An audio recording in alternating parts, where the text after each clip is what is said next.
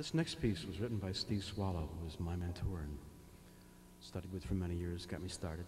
So this is his waltz. It's called Swallow's Waltz.